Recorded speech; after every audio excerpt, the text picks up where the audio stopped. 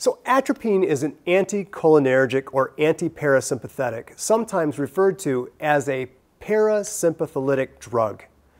A parasympatholytic agent is a substance or activity that reduces the activity of the parasympathetic nervous system. Now, the parasympathetic nervous system is often conversationally described as the rest and digest portion of the autonomic nervous system. Atropine blocks that action.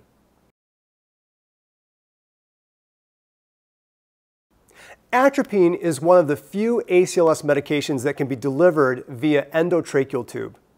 Vascular access, however, in most cases would be the preference. Atropine is the drug of choice for symptomatic sinus bradycardia and may be beneficial in the presence of atrioventricular nodal blocks.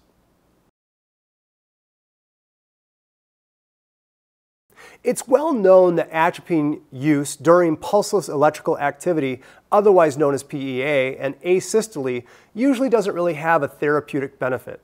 Let's not forget that atropine will most likely not affect type 2 second degree or third degree AV blocks or a block in non-nodal tissue as well.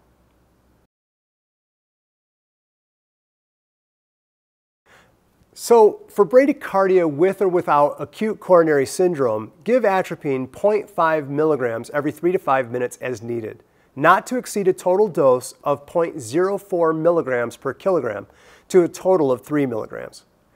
It is recommended to use a shorter dosing interval such as every 3 minutes and higher doses in severe clinical conditions. But for organophosphate poisoning, we may need to use 2 to 4 milligrams or higher to actually reverse those life-threatening symptoms of such a poisoning. The good news is intraosseous administration has been found to be just as effective as intravenous infusion for rapid delivery of atropine. Now, because large amounts of atropine may be required for patients with organophosphate poisoning, reconstitution of powdered atropine may be a viable option, especially when we're talking about mass casualty settings. Remember to utilize personal protective equipment while treating patients of organophosphate toxicity to reduce or prevent the risk of cross-contamination of rescuers.